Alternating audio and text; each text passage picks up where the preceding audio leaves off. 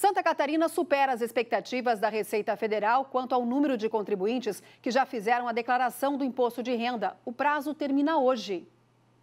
Em Santa Catarina, pouco mais de um milhão e meio de contribuintes já acertaram as contas com o leão. Segundo a Receita Federal, neste ano, os contribuintes tiveram mais facilidades para fazer a declaração por conta das ferramentas digitais oferecidas para o preenchimento. O programa por computador, que é realizado o download da página da Receita Federal, o aplicativo móvel Meu Imposto de Renda, também para preencher em dispositivos móveis e ainda a declaração online, que pode preencher direto no portal ECAC, Centro de Atendimento ao Contribuinte Virtual da Receita Federal. O prazo anterior era 30 de abril, mas com a pandemia, os contribuintes tiveram mais tempo e o prazo foi estendido até hoje, às 23 horas e 59 minutos.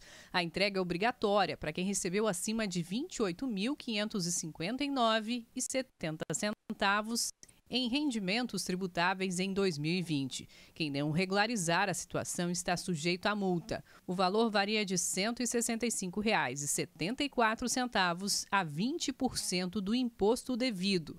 Quem não declarar e ficar com pendência fiscal não poderá participar, por exemplo, de concursos públicos, obter certidão negativada e receber benefícios do governo federal. Se foi detectada alguma pendência, alguma irregularidade, o contribuinte pode espontaneamente, antes de qualquer intimação ou multa da Receita Federal ou lançamento de ofício, retificar essa declaração. Se também incidiu em malha e o contribuinte preencheu corretamente, é só aguardar a intimação da Receita Federal para apresentar a eventual comprovação dessas pendências.